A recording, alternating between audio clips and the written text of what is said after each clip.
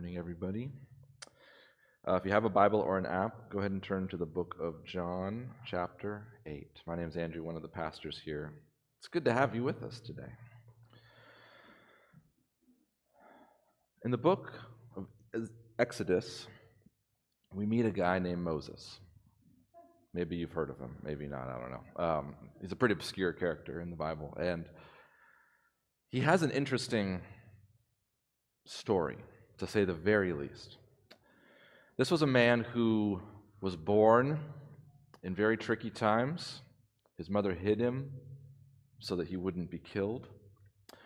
And then, as he became older, he actually committed a murder trying to protect one of his people from an Egyptian who was beating him up.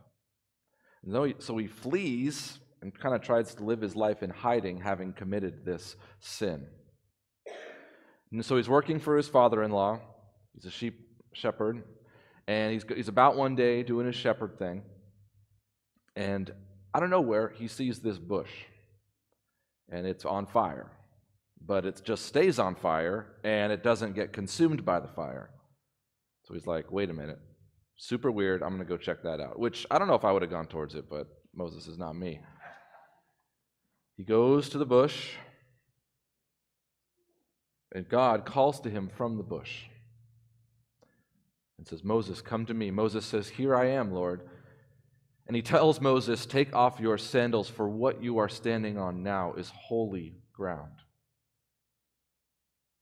And he said, I am the God of your father. I am the God of Abraham, the God of Isaac, the God of Jacob.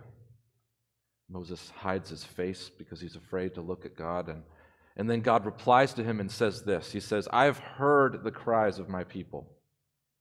I know that my people are enslaved. I know that they are suffering. I know that this is a time and a season of hardship for my people. But I've, I've heard their cries, and it is my intention to liberate them from the imprisonment and the slavery of Egypt and Pharaoh. I know their sufferings, he says. And he says, The cry has come to me, and Moses, I'm going to send you to liberate them on my behalf. Now, Moses, the story of his calling is one of my favorite stories in all of Scripture because all of his responses and rebuttals are things I think that you and I would say in this very same circumstance. He's basically sending this guy, asking him to go against the greatest power in the known world, and he says, I'm going to send you, and you're going to free your people. You're going to free my people. And Moses says what I think any of us would say, which is, Who am, who am I that I should go? I'm not anyone special. But he says, I'll be with you. And this will be the sign for you that I have sent you. When you have brought the people out of Egypt, you shall serve God on this mountain. And here's the crux of what I want to get at in Exodus here. In verse 13 of Exodus 3, it says Then Moses said to God, If I come to the people of Israel and say to them, The God of your fathers has sent me to you, and they ask me, What is his name? What shall I say to them? God then said to Moses, I am who I am. And he said, Say this to the people of Israel I am has sent me to you. God also said to Moses, Say this to the people of Israel The Lord, the God of your fathers, the God of Abraham, Isaac, and Jacob, has sent me to you. This is my name forever, and thus I am to be remembered throughout all generations. I am who I am. The I am has sent me to you.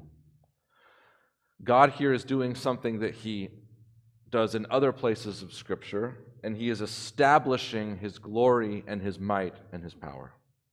He is establishing for Moses and for his people the fact that he has always existed, that he is all powerful, and that though this task in front of them seems impossible or insurmountable, he has intended good for his people, and the fact that he is the I am is the reason that they can have confidence that this will become this will come to pass.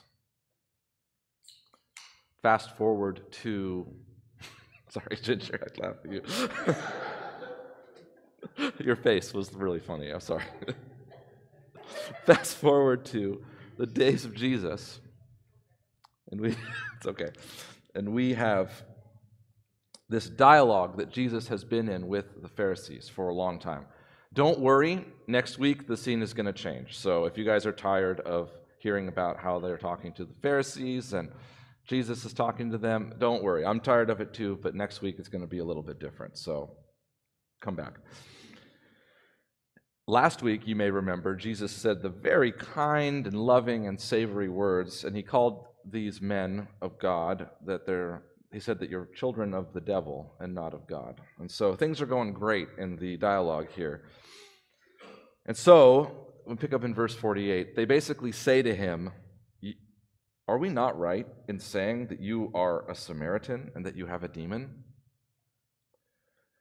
Basically, this means you're, you're basically I think, I, based on what you're saying, Jesus, our assessment of this is that you're an enemy of God's people and that you have serious mental issues, basically, is what they're saying. That would be our modern translation.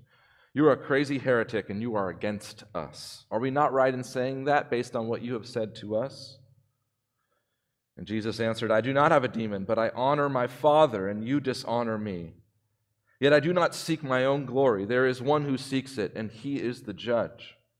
Truly, truly, I say to you, if anyone keeps my word, he will never see death.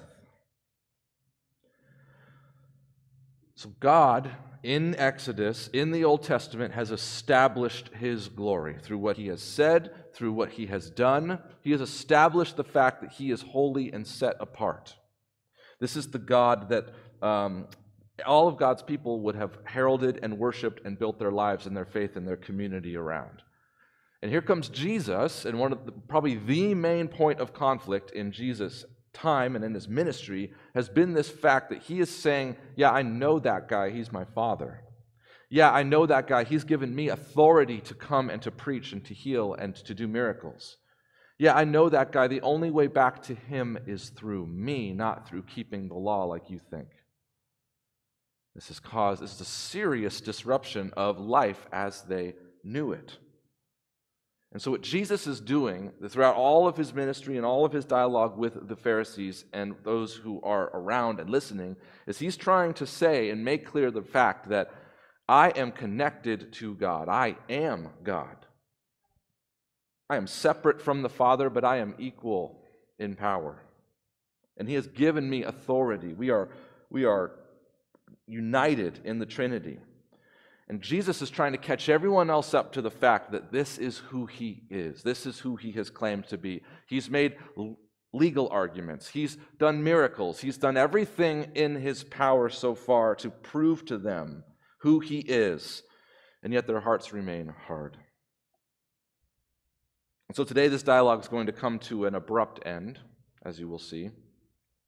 But Jesus, in this time, is going to tell us a lot about his glory given to him by the Father and what that means for those who choose to follow him. He's going to make clearly the case that he is God. He's saying to these Pharisees, I, I honor God, and, and he's the one that glorifies me. I don't glorify myself. He said elsewhere in John 5 that I don't seek glory from people. God is the one who lifts me up and has glorified me.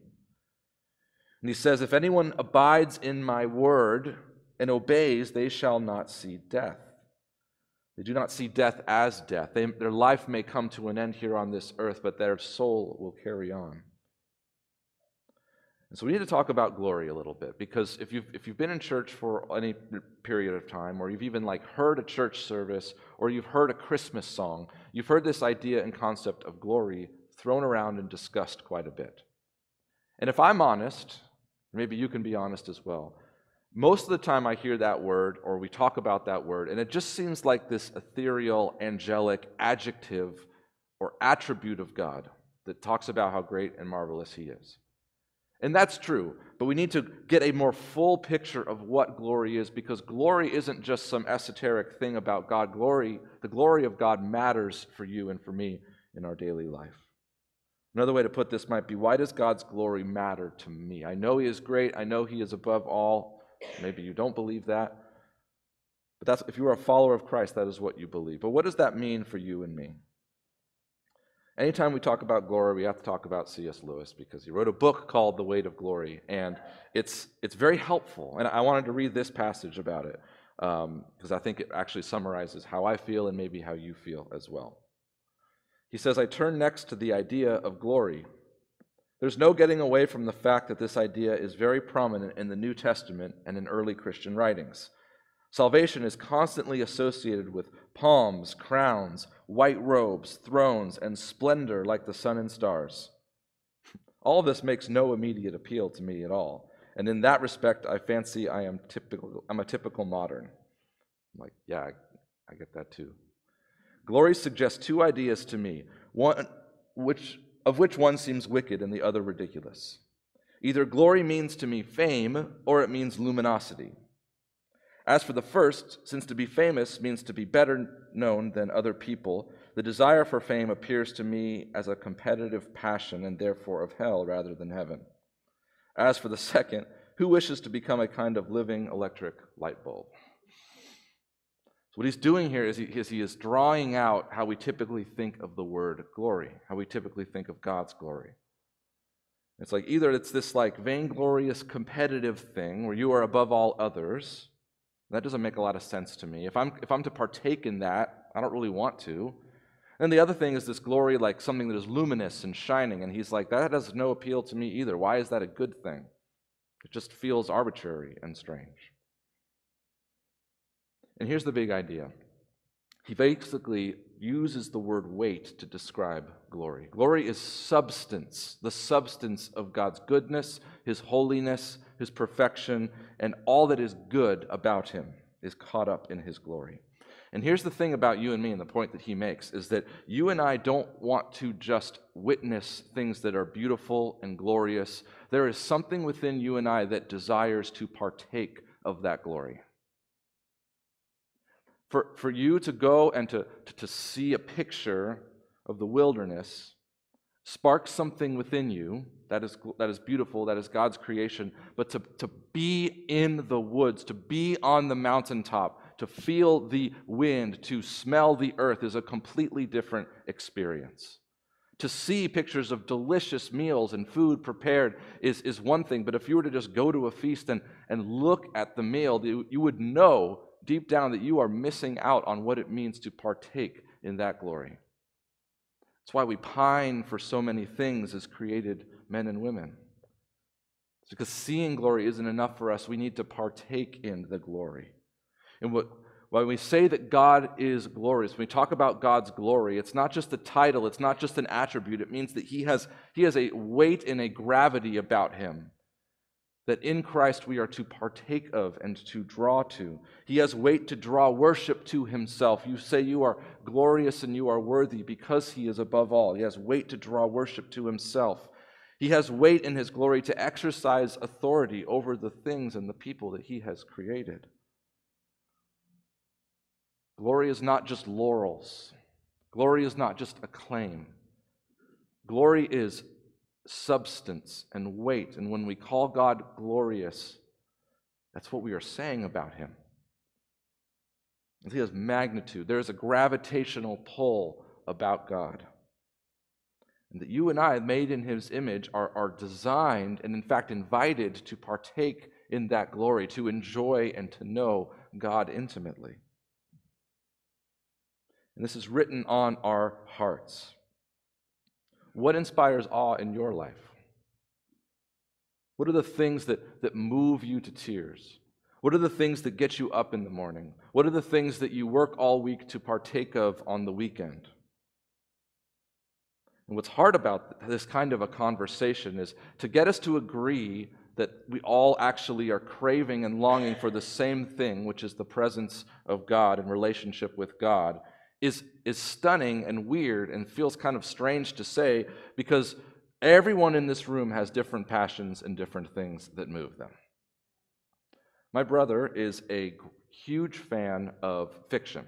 He reads fiction voraciously. He and Joel get in competitions for reading fiction or something. I don't know. They, who can read the fiction books the, ba- the fastest? Yes, Joel's amening that fact. They love it. They talk about the stories. They compare notes about the stories. I hear them talking about it and I tune out, but I know that they're talking about it. And they are they're moved by these stories. And it makes zero sense to me.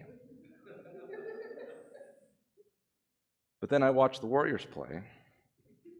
And I watch the ball move perfectly around the arc to hit an open man for a three. And, and, and something wells up inside of me. This must be what the fiction book feels like.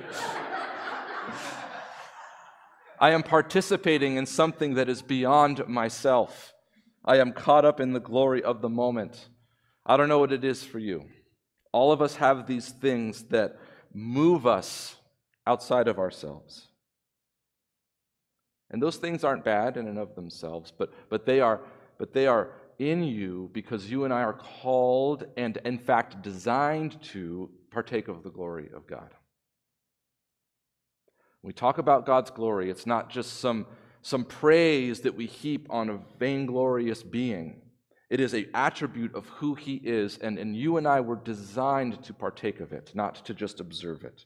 You are created to revel and to deeply enjoy God himself. We're created to do it. A, a life that is fully lived is a life that experiences well. Is that not true? And for us, as those made in his image, the deepest pursuit, the deepest culmination of that is to revel in and deeply enjoy the God who made us. Now, that sounds great on paper. And I'm sure each of you listening have a million objections to why that may not be true, why you may think it to be true, but why it is so hard to do why it may be theoretically cool, but my experience walking with two feet on this earth is not a mirror image of what you're talking about, Andrew. And I understand that. And Jesus is actually going to address it. God's glory is above us, God's glory is more than we can comprehend. God's glory is makes him a God who is worth worshiping because he is bigger and mightier than us.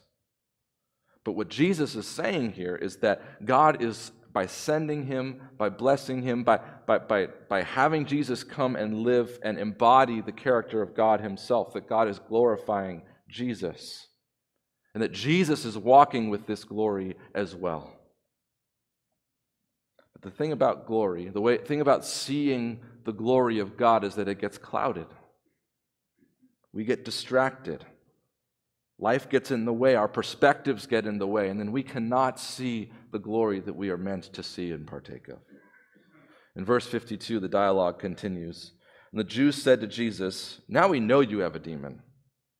Abraham died, as did the prophets, yet you say, If anyone keeps my word, he will never taste death. Are you greater than our father Abraham, who died? And the prophets died. Who do you make yourself out to be? Basically, they're saying this Okay, Jesus, you grew up in the Jewish faith. You know how big of a deal Abraham is. You know how big of a deal all of these prophets are that we've studied and that we've taught and that we've built our whole life around their teachings and their ways. And you're saying, if you abide in my word, Jesus, you will never taste death. So, so basically, what you're saying is all these guys got it wrong. None of these guys are, are set apart. None of these guys were actually hearing from God and doing the work that God had asked them to do. Who do you make yourself out to be to make such claims? In verse 54, Jesus answered, If I glorify myself, my glory is nothing. It is my Father who gives me glory, of whom you say he is our God. But you have not known him. I know him. If I were to say that I do not know him, I would be a liar like you. But I do know him and I keep his word. Your father Abraham rejoiced that he would see my day. He saw it and he was glad. But Jesus here is doing something, he's, he's doing the right, he's doing a very good thing in making his argument. He's saying, You guys all think that I'm propping myself up, but it's actually God who is propping me up. I don't glorify myself. I am God has sent me, God has honored me, and God is glorifying me in my life here on earth as the Son sent for the hope of the world. Proverbs 25, 27, it's not up on the screen, says, It is not good to eat much honey, nor is it glorious to seek one's own glory. Book of Proverbs, always, always timely and good. It is not good to eat much honey, nor is it glorious to seek one's own glory. It's equating there this idea of self glorification, like you're just like gorging yourself on sweets. It tastes good, but you're killing your, your, your, your stomach's going to be a mess afterwards. And what Jesus here is doing is he, is he is letting God do the work of glorifying him. He is not glorifying himself. He is pointing to the ways that the scriptures have pointed to him. This is the work of salvation over the work of self promotion. And what he's saying in bringing in Abraham and the prophets is he's saying that those you respect, those that you look up to most in the faith, those the, one, the ones that you esteem as the greatest men of God were actually the ones that were looking forward to me. Their hope was that I would come. Now, there's, there's discussion about what this really means. Was it just an allusion to Abraham's confident faith in God? Was there a special event where Jesus showed up to Abraham? There's evidence of that in some of Genesis. Any, either one could be true, but the point is Abraham got it. The prophets got it. They knew that they were looking forward to a new ruler, a new king, a Messiah for God's people that would set all things right. And what the religious elites of the day have done is basically ignored everything they've looked forward to and have constructed their own life separate from the hope of the Messiah to come. You see, what they didn't realize is that the real prize in their faith and in their hope and in their expectation was Jesus, not their pursuit of moral perfection. Abraham, who they revered, he got it. The men of old in the scriptures, they, they were able to look forward to Jesus and what he was going to do. But here we have men, here we have a whole community built upon pursuing the wrong thing, built upon prioritizing their own greatness, built upon, if I may, their own self glorification. Jesus is saying, You guys are actually doing the very thing that you're accusing me of. One of the greatest sources of regret, sometimes an article will pass through your feed and it's they interview maybe 100 people as they were dying or something like that. And the clarity of the end of life brings, brings some perspective. one of the biggest regrets summed up is not pursuing the, the real, most important things in life. Many of the quotes say things like, I wish I had worked less and spent more time with my family. I wish I hadn't been so worried about having enough money and had prioritized my efforts in another way. I wish I had seen that there are things that are more important than being right all the time, and there would have been a lot more peace in my home if I had just had some humility. There is deep regret from not pursuing the real things in life because here's what happens the real things get clouded, right?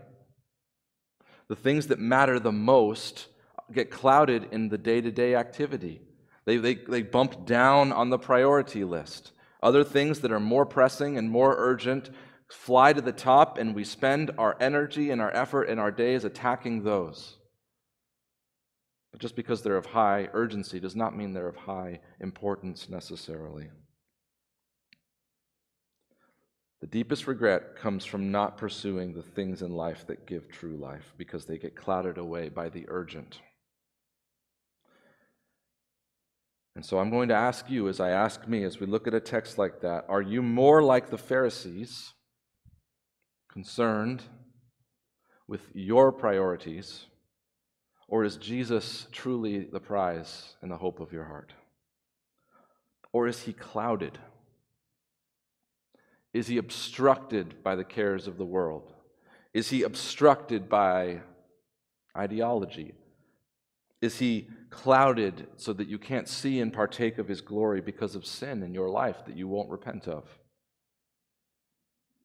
See, it's easy to say that Jesus is our Lord. It's easy to say that Jesus is most precious to me. It's easy to say and even go to church and act as if those things are true, but only you and God know if He is the prize in your heart. If he is what you are pursuing, or if other things have clouded his glory. You know, we talk about making Jesus known at this church a lot.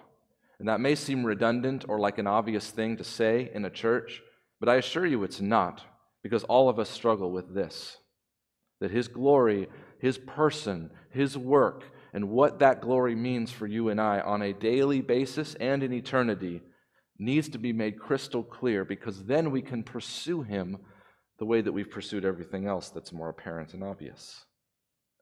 We lift up Jesus because he should rest at the seat of our affections. We teach about Jesus to remove the clouds that we may see him clearly and understand who he is and what he has done. And we praise Jesus because those moments in his presence strengthen us with the overwhelming reality that he is for us in Christ and not against us. Brothers and sisters, Jesus is worth treasuring. And I think that for so many of us, we think we've won in our faith because we agree with that statement. When there is more of Him to partake of, there is more to learn from Him, there is more of us to set at His feet that He might use us as instruments in His hands. But who He is is so clouded by our life, our prejudices, by our inconsistencies, and our sin. There's no silver bullet here, there's no secret thing. The way to see Jesus more clearly is to continually repent of the sin that sin clings so closely, to put ourselves before God and say, You are God and I am not. Teach me, Lord. Teach me, Lord. We talk about pride a lot, and that the Pharisees are such an embodiment of a prideful heart, a stubborn heart, a heart that will resist God's authority and exert their own instead. And maybe the reason you and I aren't seeing Jesus clearly is because we have our own pride that has kept us from him. We are so certain that the way we view the world is correct. We are so certain that we are good people. We are so certain that we know everything we need to know about Jesus. We are so certain that we have tasted all there is to taste of a life united with God. So I ask you, as I ask myself, is he clouded in your vision this morning? Are you able to see Jesus clearly? Because when we can see him clearly, then we can pursue him rightly. Verse 57, Jesus continues. So the Jews are, the, the, Pharisees are really tripped up by this whole Abraham thing. They're confused about it, they're uncertain, they're, they're wrestling with it. And they say to him, You are not yet 50 years old, and you've seen Abraham? They're like, What? What? How do you know what Abraham was hoping for? How do you know this, all this stuff and this information about Abraham? You're not even 50 yet. Abraham lived a long time ago. What is happening? So they're, they're still like caught up in the minutia of how this could even be possible that Jesus knows all this stuff. And Jesus said to them, Truly, truly, I say to you, before Abraham was, I am. Before Abraham was, I am. And that phrase, I am, is the exact same one used by God when he spoke to Moses from the bush that was burning and yet not consumed. He's saying, Abraham came and Abraham went, but I have always been.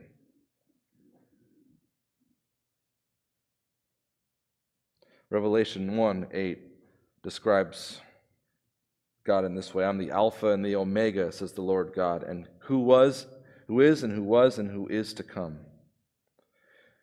And Jesus is basically saying, by using this phrase, unapologetically and without any uncertainty, that he is God.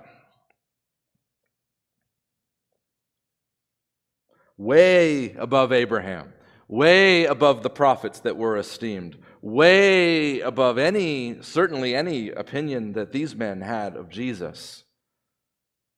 He is the incarnate Logos, the Word of God in the flesh, speaking to people, speaking to men, speaking to women, embodying the character and the person and the glory of God Himself.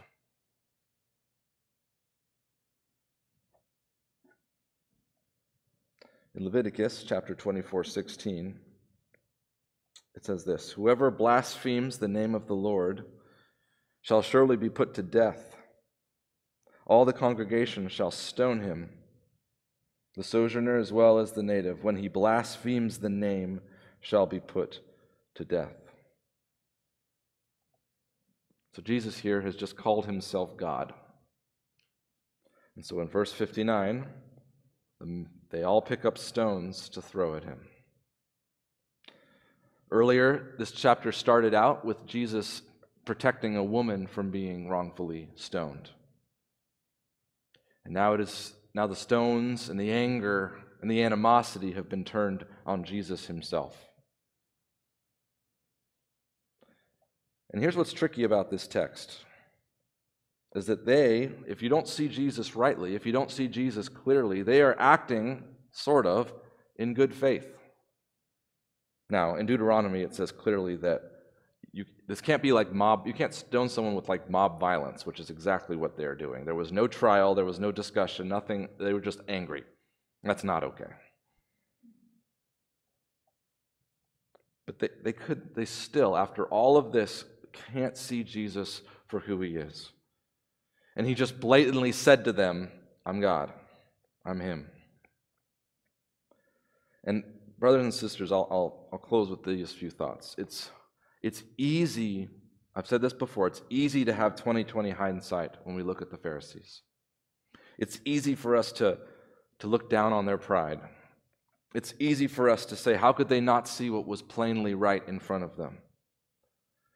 It's easy for us to say, how could you not see that Jesus is who he said he was? Or why did you not believe that Jesus was who he said he was?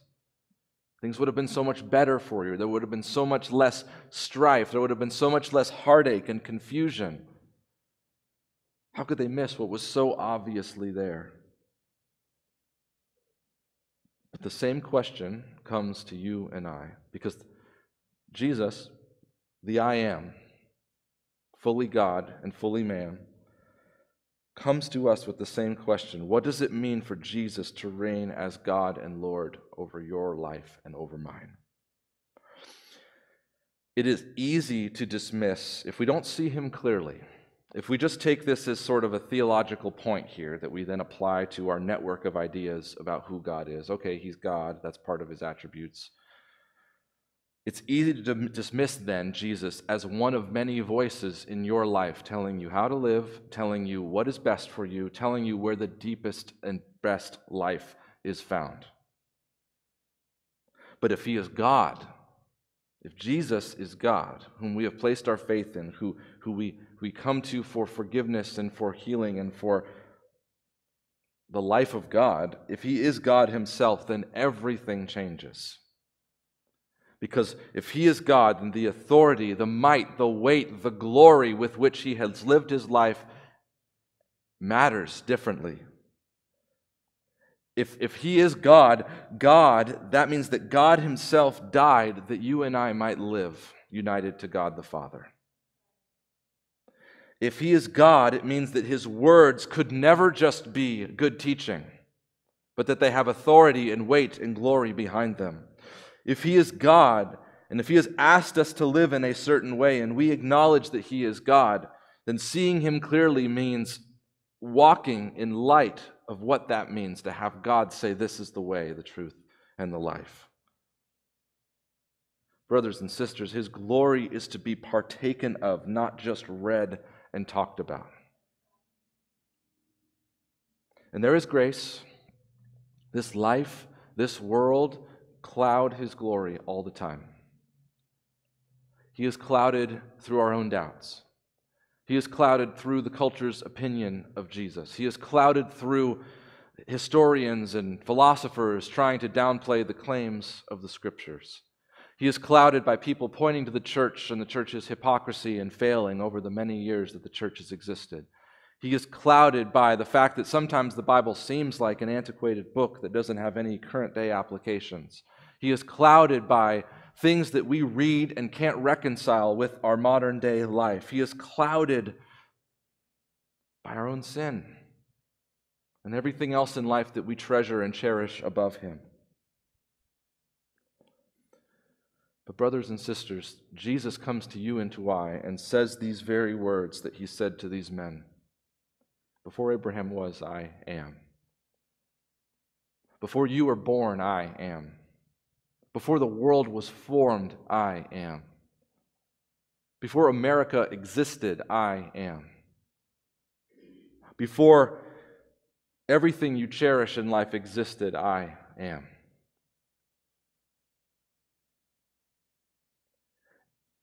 And if that God is the God that you and I worship, and that glory is what we desire to partake of, and that loving authority of God is, is the one that we submit ourselves to, then, brothers and sisters, we have glory to partake of that is above our greatest imaginations and pursuits and longings. You and I are not called to be spectators of the glory of God our whole life. Being a Christian is not just some cosmic justification of your soul, and then we wait around until we get to be with God one day. God Himself came in the flesh. Not just a historically accurate person, not just someone who claimed he was God, but if you believe that he is God, then you believe that God died in our place. And it was only through that act and faith in that act that we are won back to the God who formed us and loved us. His glory is to be partaken of, not just read and talked about. If you believe that Jesus is God, then you believe that He meant it when He said, It's better for me to go away and be with the Father, that I may send a helper to be with you. That better than having the actual Jesus next to us is the, the Spirit of the living God living inside of us through the Holy Spirit. If Jesus is really God and his words have the authority of God, when he says that I will be with you always, even to the end of the age, then that might cause us to live differently as we face the darkness of this world.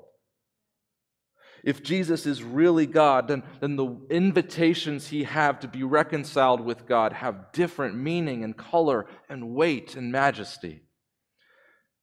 If Jesus is really God, and if we see him clearly as that God, and if we partake of the glory he invites us into, then we can't help but follow him. We can't help but throw ourselves at his feet and say, God, I'm here. What will you have me do? God, I am here. My days are yours. God, I am here. My life is in your hands. God, I am here. Thank you for loving me enough to die in my place that I may live truly. God, I am here. I put my pride at your feet. God, I am here. May I live the life you've called me to live. This sermon is a simple meditation on the fact that Jesus is who he said he is. But the problem is, is when Jesus says who he really is, some of us are drawn to that, and some of us pick up stones because we don't like what that means for our life. If you believe that Jesus is really God, then that means something for your life. It means that we need to follow him. It means that we need to take his yoke and learn from him. It means that he can't just be one of a collection of voices from which we form our identity in our life. It means that all of who we are belongs to him if he is God, and if we call ourselves followers of Christians, little Christs. And I say this with no shame and no guilt because we all struggle with it, but so many of us are living with a clouded vision of Jesus. And we're caught halfway in the world and halfway following Jesus. And that life is frustrating to live. We will all have sin in our life. We will all fail. We will all never be perfect this side of heaven. That's not what I'm saying. But what I am saying is that in today's day and age, we have, we have lost what it means to follow someone who has authority over our life. Our current views of authority are skeptical at best. And for, for Jesus to come along and say, I am God, and I am Lord over your life, we, that's lost today. It's hard for us to understand what that really means. And so when Jesus says, Before Abraham was, I am, it is an invitation to all who listen to him to see him as God. And brothers and sisters, I am inviting you and I'm inviting myself to see Jesus for who he really is. May we live our lives in such a way where we are, we are doing all we can to see him clearly. May we repent of the sin that, that clouds our vision of who Jesus is. May we May we rid ourselves not just of the sin in our lives, but as Hebrews says, of the weights that cling so closely and keep us from running the race we were created to, to run. The joy of being intimate with God and not just reading about Him. We have been invited into more. We've been invited to partake of the glory that is God's. We do not become God, we are not equal with God but, but enjoying his glory is a part of following God. Being caught up in his glory and who he is is part of enjoying God. And, brothers and sisters, we need this joy. We need this hope. We need this glory if we are going to walk in the way that he's asked us to walk. Because without it, God is just a God on a page but it is the living glory, the living God that calls to us, that beckons us, and that has promised that he, will, he will never leave us or forsake us. I encourage you to see God clearly this morning. If Jesus is God and He is Lord over your life, what would that mean for you? What would that mean for me? What would that mean for us as a body of believers? Let's pray together as we contemplate that question.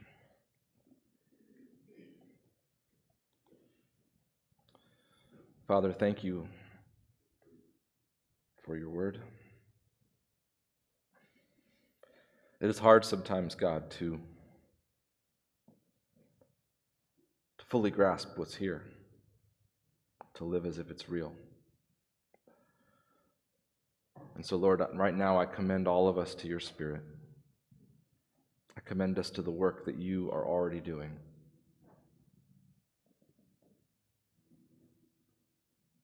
Jesus, forgive us for the times when,